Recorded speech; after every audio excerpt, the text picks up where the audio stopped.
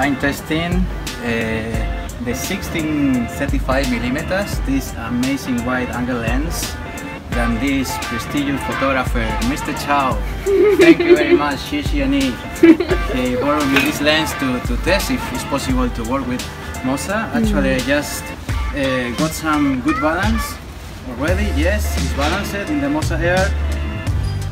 I have to take out the, the A cup, but with cup I have all the room to work.